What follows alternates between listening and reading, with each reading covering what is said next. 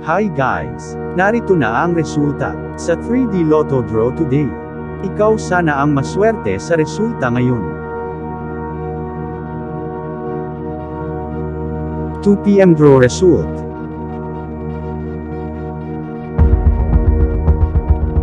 In exact order.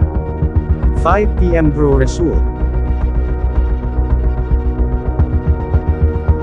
In exact order. 9 p.m. draw result. In exact order. Congratulations. Subscribe now.